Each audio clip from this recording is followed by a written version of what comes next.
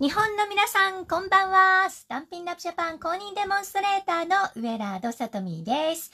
えー、ウェラードサトミがお送りする Facebook ライブチャット始まり始まり、始まり始まりなんですけれども、えっと、恒例のですね、一番最初は正しいところでやってるかどうかのチェック OK でした。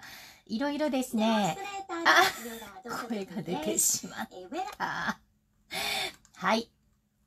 OK でした。いろいろですね、ネット環境の改善、あ、えっと、ワイムさん、こんばんは。早速ありがとうございます。え、ネット環境がね、あまりよろしくないので、それを改善するべくいろいろ工夫をしておるんですけれども、今日はですね、あの、モニターの方はね、主人の、あの、携帯の方に接続させてもらって、、私は私で自分の携帯の、あの、ネットのね、ダータ、あの、データで、あの、発信してるんで、モニターを見ながらにしても、つまり別回線を使っているので、あ、KT さんもこんばんは。モニターを見ながらですね、あの、ライブがお送りできる。で、そうしても、ライブ画面がモザイクにならないというのが、超嬉しいです。まあ、正直言ってなんで今まで気がつかなかったんだろうってことなんですけれども。あ、TM さん、今日は間に合いましたか？そして MS さんもこんばんは。嬉しいなたくさんの方に、えっと、オンタイムで見ていただきありがとうございます。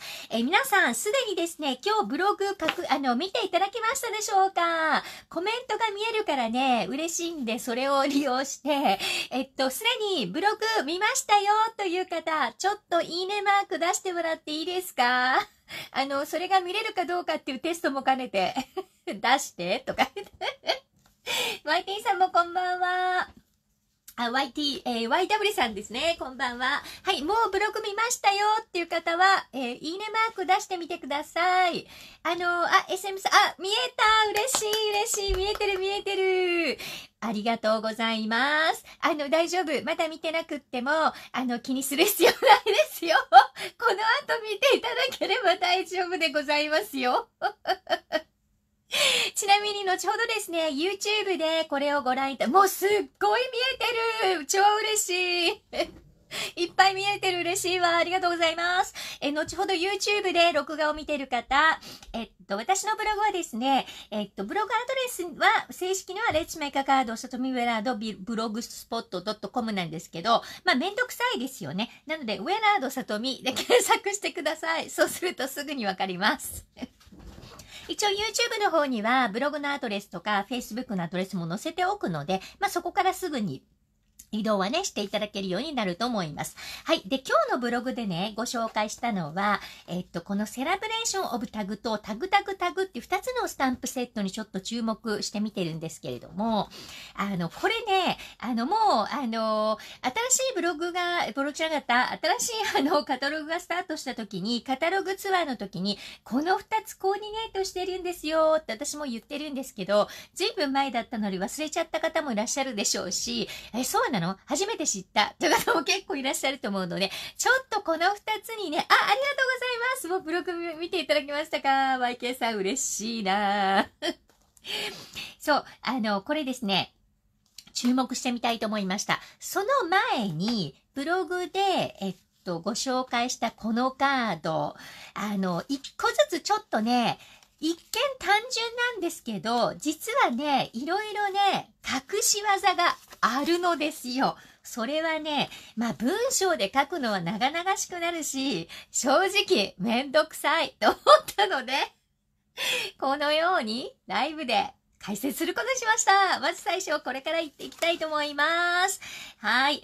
えっと、このセラブレーションタグというスタンプセットを作って主に、えっと、つく、使って4つのカードを作り、こちらのタグタグタグでは1つのカードを見ました。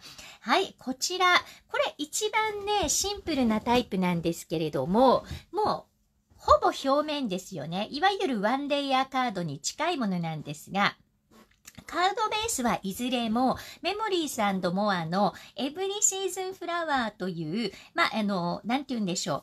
えー、っと、カードベースと、はい、中が色、白、白なので、そのまま書いていただけるものなんですけど、それにお揃いの封筒がね、ついているカードと、それからエンベロップセット、えー、封筒セット。あの、これからスタンプをね、始める方、カードメイキングを始める方、まず最初はですね、こんな形で、あの、カラーが、もちろんここが白いな、白くなってるのもあるんですけど、こんな風にね、封筒とカードベースがセットになってるものを選び、あの、それ以外は、まあ、スタンプ用の白いね、ペーパー、えっウィスパーホワイトっていうのを私は使ってるんですけれども、すっごい綺麗にね、スタンプ押せるんで、それと、まあ、あの、使いやすい。今日これからご紹介するスタンプセットなんかもすごく使いやすいので、そんなものを先にゲットされるとね、いいと思うんですよね。さらに、え、これインクはですね、5色使ってるんですけれども、その5色とも、このカードベースのカラーにコーディネートしてるんですよ。やっぱコーディネートがポイント。はい、この5色。インカラー2020年に、えー、2022年の5色、大好きこれ そういう方いっぱいいらっしゃると思うんですけど、使いやすいんですよね。ということで、その中から、バンブルビーのカードベースに、えジャストジェイドに、えー、同じくバンブルビーの2色の、えインクを使って作ったんですけど、はい、このゼブラちゃんでございます。あとね、これもゼブラはすぐわかりますよね。年間カタログの中に実は、はい。このスタンプセットと隠れコーディネートしてるスタンプセット、こんなにあったよっていうことで、これも後でご紹介しますけれども、これはすぐわかる人多いですよね。だってゼブラちゃんもう他、あれしかないでしょって感じなので、えゼブラのスタンプは、えっと、わかると思うんですけれども、あ、なんか大丈夫かな？私のモニターだけかな？モザイクになってるのは。みんな、皆さんが見えてるのは大丈夫かな？皆さんが見えてる、多分別回線になってるから、えっと、皆さんが見えてるのは、大丈夫なはずなんですけど、時々ね、あの、やっぱりネットね、弱くなるんですよ。ごめんなさいね。まあ、でも、大丈夫と信じていきます。はい。見えてるかな？今大丈夫？それとも結構モザイクになっちゃった？大丈夫かな？それは私のモニターだけがモザイクになってるんだろうか？そんな気もするけど。よいしょ。なんか止まっちゃったし。止まっちゃったのは私の、あの、多分画面だけかなという気もしますね。はい、いいです。もう、引き続き。あ、見えてますあ、よかったよかった見えてますほんの少しもざっぽい。じゃあね、またすぐ治ると思うんですけれども、あの、たまにね、ブレるんですよ、ネットがね。なので、今ね、あの、障害物が 周りにあるっていうのもあるし、あの、そう、電波がね、届きにくいんで、あ、でも、あ、ありがとうございます。あ、じゃあ大丈夫ですか？ありがとうございます。あ、治ったみたい。OK。時々ね、たまになるけど、すぐ戻ると思います。はい。で、これね、あの、私ちょっと気に入ってるんですよ、すごい。あありがとうございます、SK さん。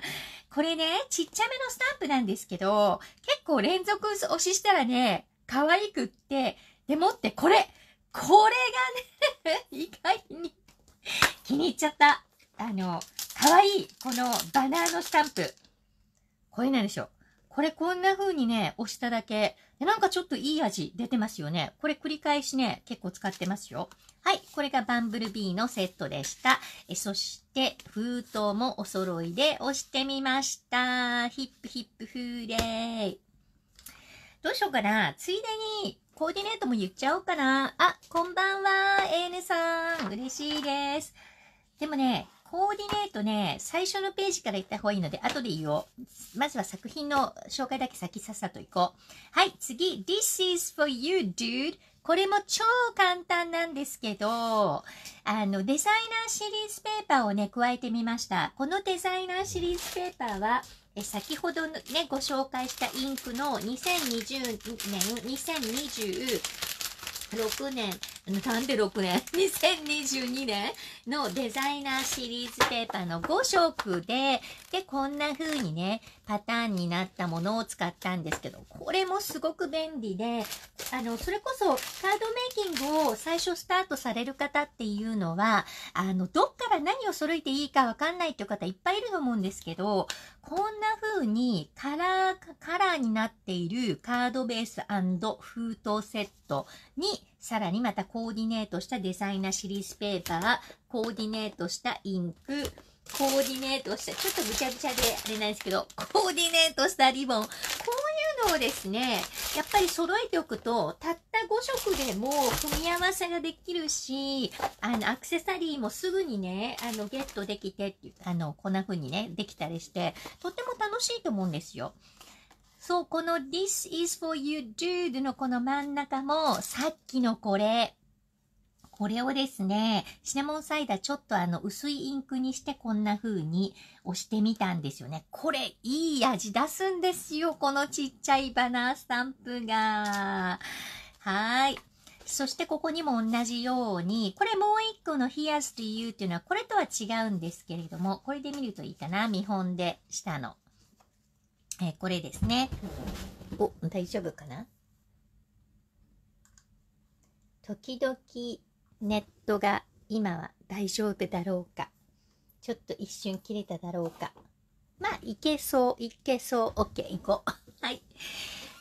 このスタンプと、えー、それからデュール、この2つのスタンプを使ったんですけれども、真ん中をね、同じくまたさっきのや、ね、両方矢印スタンプで色をつけてみました。ちなみに、ここで、あの、大カットが登場したんですが、先ほどご紹介したこのタグタグタグ、そしてセラブレーションオブタグズには、コーディネートしたね、台があって、これがですね、つまり同じ台と、あの、コーディネートしてるので、あの、兄弟、ええっと、スタンプっていうふうに私は思っていて、こういうことです。大カットできるんですよ、こういうふうに。この台はもともとタグタグタグの方に、ドンピシャで大カット、えっと、できるように出た、あの、台なんですけれども、これをですね、このセラブレーションオブタグズ、ね、タグ祭りって感じですよ。このスタンプセットの名前。タグ祭り。ね、だって可愛い。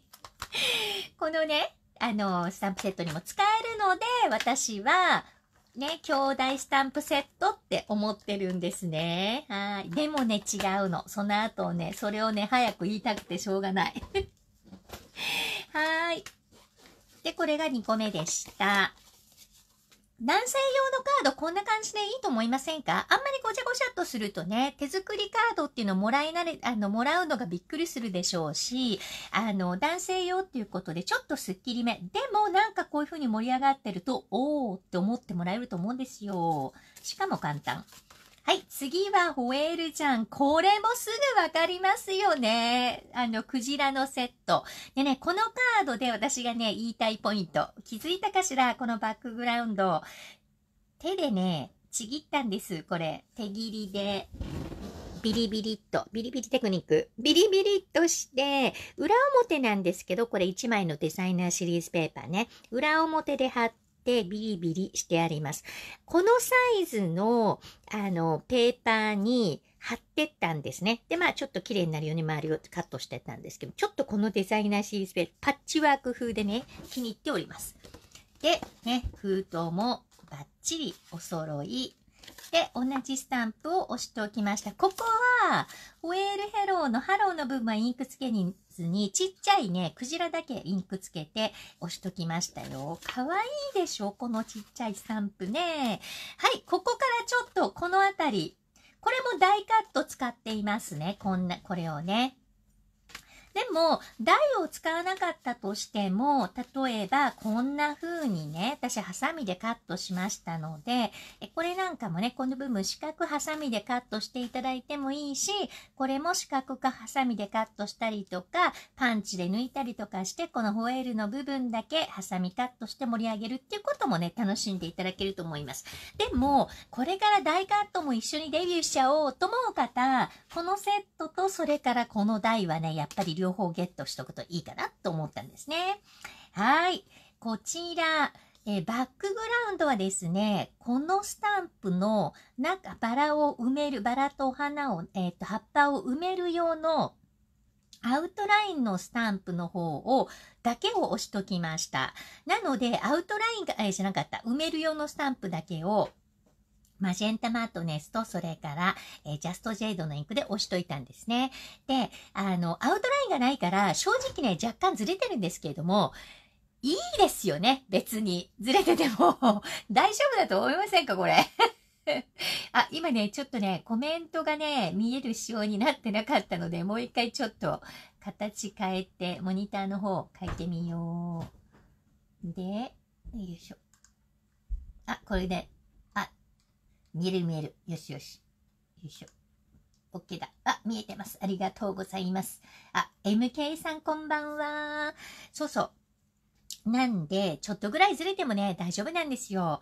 で、ここまた見てみて。ウィッシュビッグ。さっきから連続で登場してる。本当にこの子ね、いい味出してるよ。このちっちゃいバナースタンプ。あの、薄いですよね、色が。えー、マジェンタマートネスのインクを一回こういう風に落として、2回目インクつけた時に一回落として、スタンプオフって言うんですけれども、それを押したので、ちょっと色が薄くなったんですね。なので、上からウィッシュビッグっていう、あの、ちっちゃいスタンプ、ちっちゃい文字のスタンプ、ここにも入ってるんですね。ウィッシュビッグね。他にもありますよ。あの、グレートジョブとかね、あの、to you とかフレンドとかね、素敵、かわいい、本当に。これを、このバナーの上に押して、で、ハサミカットしました。というのがこれです。で、ここからちょっとね、ほら、お揃いのね、今までね、封筒こういう風にお揃いだったんですよね。これがこれね。ミスティームーンライトはちゃんとミスティームーンライト同士、じゃ、シナモンはシナモン同士、で、えー、バンブルビーはバンブルビー同士。これブログにはね、このこと書いてないんですよ。写真も載せてな載せてないし。本当だったら、マジェンタマットデスの封筒でお揃いにしようかなと思ったんですけど、せっかくミスティームーンライトここに使ってるから、こういう組み合わせもいいんじゃないの？と思って、あの、違う色の封筒。でも、お揃いだもんね、ここが。っていうのをやってみました。ということで、こちらです。実は、マジェンタマットネスの封筒は、このカードに使っちゃいました。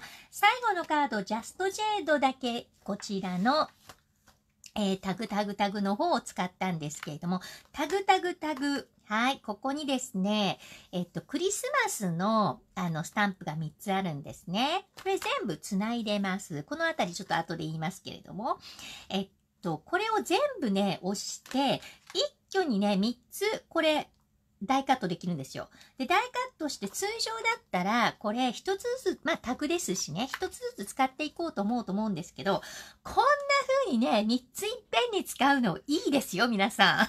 可愛いですよ、これ。クラスターって言うんですけど、これ全く同じデザインで、えっと、ハロウィンのカードにしたり、要するにこのバッグの色をちょっと濃いめの、あの、えっと、まあ、カードストックにしていただいて、とか、あと今度バレンタインの時は、えピンクとか赤で作っていただいて、でも、バックグラウンドと同じインクだけでね、こんな風に作、あの、固めて配置するのすごく可愛いと思うんで、3ついっぺんに使うと結構大きいインパクトのあるイメージになりますよね。なので、こんな感じで使っていただくと面白いなと思いました。これがですね、本日、えっと、ブログで載せたカードの、えっと、詳細なんですけれども、次にご紹介したいのは、はい、こちらのセレブレーションタグの隠れコーディネートカタログのね、最初の順番からいきます。これね、隠れコーディネートなんで、正式にね、説明す、あの、こうですって言われてないんですよ、実を言うと。あ、マゼンタとジャストジェイド可愛いですか？そう、私も気に入ってるんですよ。マゼンタがそもそも好きだしね、私ね。ピンクね。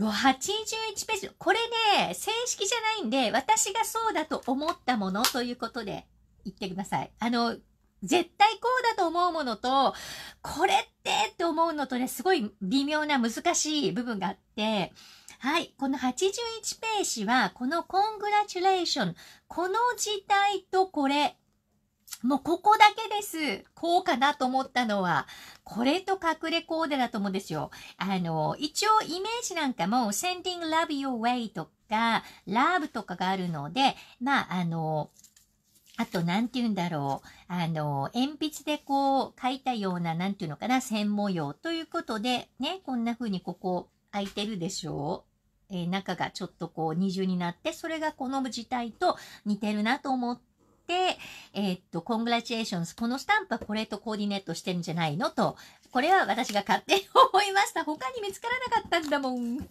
次行きます。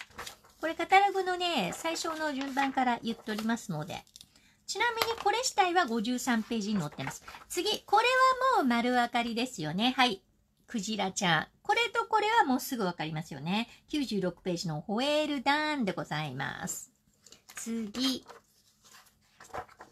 これもね、あの、こうじゃないのかなというタイプ。ここです。ここがポイントです。パターンプレイ。102ページのパターンプレイ。これ、here's to you. まあ、なんだろう。この字体と、この字体がちょっと似てるし、決め手はこのしましまかなこのしましまがこれとね、一緒でしょ？なので、私はこれとコーディネートしてると、ウェラード決定いたしました。実はね、全部見つからなかったの。後で皆さんが見つけてくれると嬉しいなと思いますけど。次、117ページのフィールド・オブ・フラワーとコーディネートしてるのは、これ。today and always。この always と全く一緒ですよね。自体がね、でかい、小さい、それだけのことです。そして today and always ということで、あの、えっと、エンゲージメントリングというかね、あの、結婚のね、あの、お祝いの何か、えっと、プチプレゼントを作るときのタグにしてもいいと思いますし、このスタンプセットを持ってる方は一緒に使っていただくと、それとほら、この字体もね、ラブとか U とかこの U 同じですよね。サイズはね、これがあの、同じサイズ。本物と同じなんですよ。だからそれと比べるとチビなんですけど、これなんて書いてあるんだろう。グレートジョブか。えー、じゃあ、to you to とかの方にしてみようかな。はい、to you。あ、同じかも、これ。ん ?you。あ、同じサイズだねえ。でね、フレンドっていうのもあるんですよ、ここに。フレンド。あ、フレンドも同じサイズ。これマイフレンド。こっちフレンド。あ、でもね、同じサイズだけど、字体がちょっと違うな。これなんだろう、タイプライターみたいな字体になってるんですけど、でもサイズ的に同じということは、このさっきのバナー、ハマるこれにハマる。ビリーブもハマる。Thinking of You はあの出るけど、In My Heart もハマります。ということで、えウェラード的にこれ隠れコーディネートセット決定。ということでノミネートしました。ノミネート。何のノミネート？次。あれ？これは私なんで、あらあ、違った、こっちだった。自分で線つけといて。こっちこっち。これです。これは、はい、先ほどのマジェンタのカードに使った、これとコーディネートしています。バラだしね。あと、字体もね、いつよでのこのでの雰囲気と、ほら、このふにゃふにゃっていう、ね、あの、タイプライターでタイプしたみたいな字体に筆記体が入ってっていうのが同じですよね。なので、ファンシーフレーズとコーディネートしています。もうこれはね、絶対だと思う。もうさっきの、あの、えっと、クジラとね、えっと、あの、ゼブラと同じぐらい、これは結構自信ある。はい。最後、これです。さっきの dude のやつですね。This is for you, dude. もう丸分かりですよね。137ページ。はい。This is for you, dude. これでございます。もうこれ、もう完璧です。えー、パレットソーツ。これは、あの、まあ、男比較的男性向けのセットみたいなイメージになっています。でも、見つけられないかさっきから言ってるのは、もう、これとこれ、これとこれとこれとこれとこれとこれとこれ、これだけ見つからなかったんですよ。正直言って。どっかのセンチメントセットと一緒かなと思うんですけど、皆さん、これちょっと見つけてみておいてください。私はね、はね、どうしても見つからなかった。もしかしたらね、ないのかもしれないんですけど、これが隠れコーディネートでした。はい、ここからがですね、あの、本番じゃないけど、似てるけど違うのシリーズでございます。ですか？似てるところ、はい。一つのタグ、えっ、ー、と、同じ大、大セットでカットできる。まあ、タグなので、タグシリーズで似てますよね。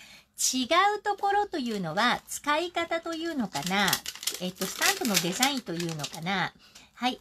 えー、こちらのですね、タグタグタグは、あの、バレンタイン、ハロウィーン、クリスマス、3つのシーズンのスタンプセットが、はい、3つつながってて、それぞれ、はい、これがハロウィン、ハロウィン列です。えー、っと、バレンタイン列です、えー、クリスマス列ですっていう風に一つね、同じオケーションのものが重な、3つ重なってるんですよ。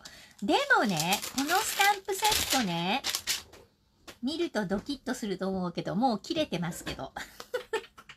もともとね、こういう風に繋がってたんですよ。これどうしたら見やすいのかな？白い、白地、これでも見えるかな？こう繋がってました。こちらでお見せいたしますと、このゼブラちゃんと、はい、ゼブラちゃんと、いつよデート、ヒップヒップクレ、フレ、これ3つとも全然違うオケージョンですよね。この全然違うオケージョンが、こういう風にもともと繋がったスタンプになってるんですよ。3つとも。だから繋がってるっていう点では、タグタグタグと一緒です。で、タグタグの場合は、まあ、スタンプもつながってるから、これ一挙に3つスタンプして、一挙に3つこうやって大カットをすると、さっき私が使ったみたいに、こうな、こういうものが一挙にできるんですよね。でも、セレブレーションタグっていうのは、まあ、つながったままスタンプして、じゃあこれを一挙に大カットするというメリットは果たしてないはっきり言ってない。だって、違うもん、オケーションが。ということでですね、ウェラード、カットしちゃいましたこちらのセレブレーションタグは、このつながってる部分をカットして使う方が便利なんですよ。そこが全然違うの。っていうところなんですね。どう使うと便利かの使い方が全然違う。タグタグはくっつけたままが便利。でも、セレブレーションタグはカットした方が使いやすい。だからこそ、このように、だってこれ3つつながってたら、真ん中のゼブラちゃんだけインクつけて連続押し、めっちゃめんどくさいですよ。難しいです。でもね、カットしちゃったんで、ゼブラちゃんだけ単独スタンプになったんですね。なので、こんな風に、このことができました。そしてこの部分も単独スタンプだったので、ゼブラがくっついてると押しにくいなってなるんですけれども、はい、単独でこういうことができたわけなんですよ。なので、実は私全部ですね、カットしちゃっています。もうハサミで簡単にカットできますよ。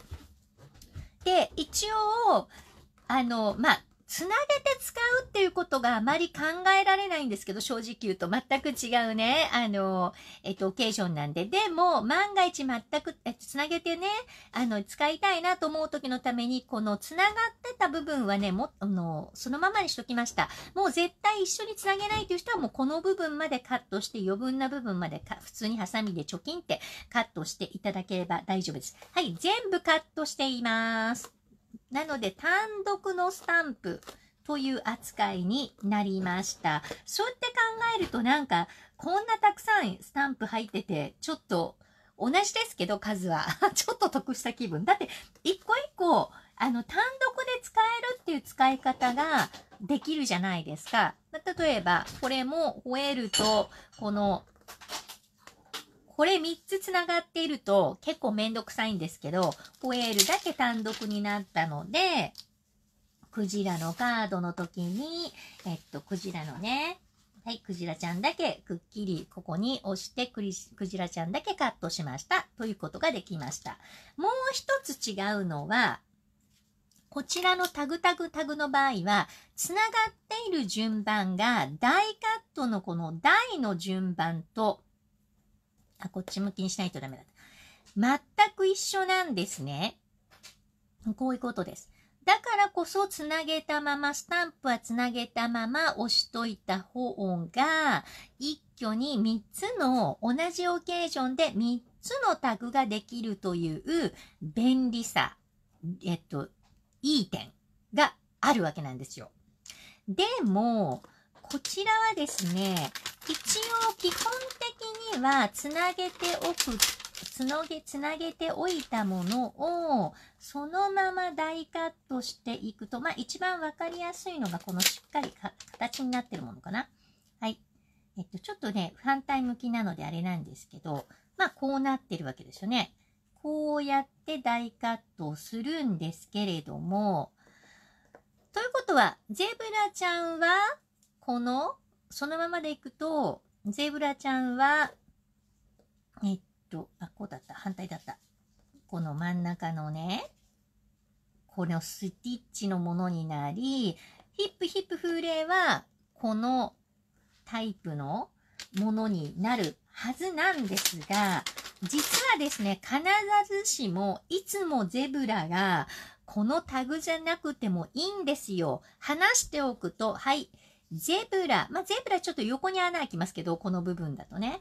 ゼブラちゃんは、こっち側の、このタグで抜いてもいいし、このタグで抜いてもいいわけなんですよ。プラス、先ほどのこのコングラチュレーション。これはですね、サイズ的にこれしか、ね、あの、こっちのタグしかダメなんですけれども、そうでないものなんかは、これなんかは、これスタンプで見てると分かりにくいかな。こっちの方がいいのかな。イメージシートの方がいいのかな。これなんかは、ヒアスという、はい。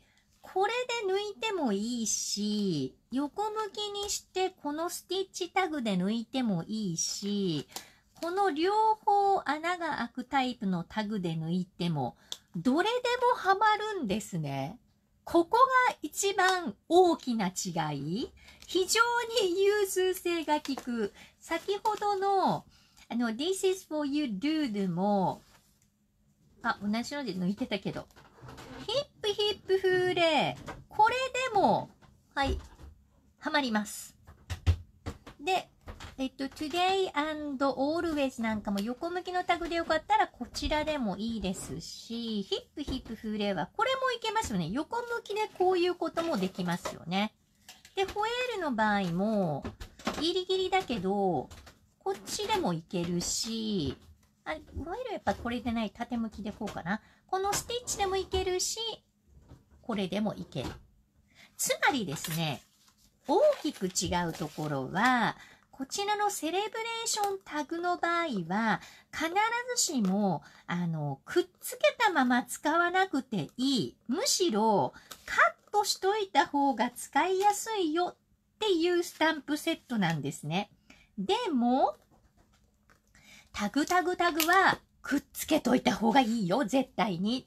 っていうものなんですよ。そこが大きく違う点となります。そして、えっと、使うダイカットも、こちらの方は、 Celebration Tag の方はとっても融通が利く。え、ハロー、 Whale Hello は必ずしもいつもこれじゃなくてもいい。スイッチ、スティッチダイとダイカットしてもいいし、あの、はまればね、ギリギリだと思うんですけど、こういうので、え、はめていただいてもいいと。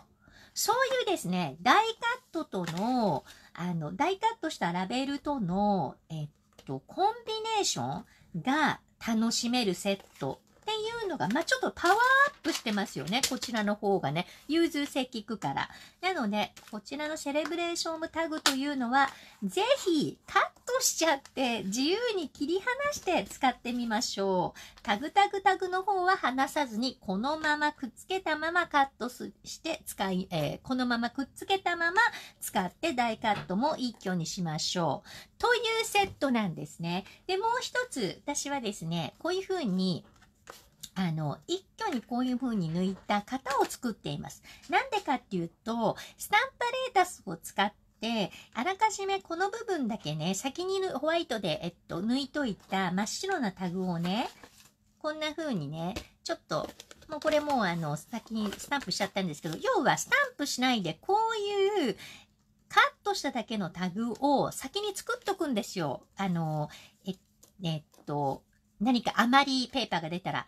そしたら次にね、スタンプするときに、こういうふうにこの穴に埋めて、スタンパレータスを使って、これ別ビデオで前にご紹介してるんで、それをもう見た方は、えっとね、あ、あれねってわかると思うんですけど、初めて見る方のためにちょちょちょちょっとご説明しますと、はい、スタンパレータスですね。これスタンパレータスってあの、思ったところにスタンプがポンとできる秘密兵器なんですけど、あ、ごめんなさい。すごい揺れた今。ごめんなさい。地震になりましたね。カメラ触っちゃいました。そう、こういう風にしてね、あの、あらかじめね、ここにね、あの、スタンプ。要はね、こういうことですよ。えっとね、どれがいいかな？ビュードでいくかな？これでいくかな？はい。これでもいいや。黒い方がわかりやすいかな？はい。こんなことしてね、ホエール。このスタンプをね、ここに設置するでしょ？で、つけますよね。こうちゃんと穴にはまってるねってつけましたよね。で、ここにあらかじめカットしといた紙をこういう風に設置して、まあ、せっかくだからスタンプしちゃおうかな。で、ここにインクをつけます。で、押すとさっき設置した全く同じ場所に戻るんですよ。ということは、スタンプしてから大カットしなくても、ちゃっちゃかちゃーん、完璧。先に大カット、あまりペーパーがちょこちょこっと出たら、スタン、パンチしたり、こうやって大カットしたものをストックしておくと、使いたい時にこんな風にはめて、で、この、ここのとこにはまるようにスタンプを設置して、縦でもいいし、横でもいいし、こんな風に設置して、で、キュッとスタンパレータスで、スタンプをつって、で、インクをつけて、狙ったところに完璧に押す。ちゃっちゃかちゃーんということができるので、こういうテンプレートを作っているんですね。で、このテンプレートを、えっと、スタンプセットと一緒にこんな風に私は保管してあります。ということで、以上がですね、はい、こちらのタグタグタグ、えっと、スタンプセットと、それから、えー、姉妹セット。あのね、こっちが先に出たのでお姉さんなんですよ。こっち妹です。パワーアップしてるし。